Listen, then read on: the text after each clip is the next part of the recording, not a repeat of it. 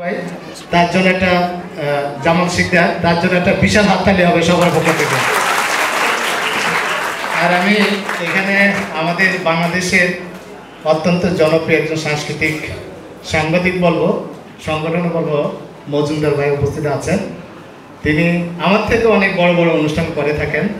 আমি তার সাথে কথা বলে এখানে আসছি। যেমন আমাকে অনেক আগে দাওয়াত দিয়েছিল। তা আমার সবচেয়ে ভালো লেগেছে যে অডিটোরিয়ামটা ছোট, কিন্তু দর্শকগুলো খুবই ভালো এবং পরিপূর্ণ। পরিপূর্ণ না হলে আস- আসলে সাংস্কৃতিক অনুষ্ঠান ভালো লাগে না। তা আবার স্টেজও পরিপূর্ণ সেই জন্য আমি শিকদারকে ধন্যবাদ জানাচ্ছি। ছোট্ট ছেলে হলো ভালো আয়োজন করেছে, আমি চেষ্টা করব, ভবিষ্যতে তাকে সহযোগিতা করব। আপনারা সবাই ভালো থাকবেন, সুস্থ থাকবেন, যানজট এড়িয়ে চলবেন। সবাইকে ধন্যবাদ।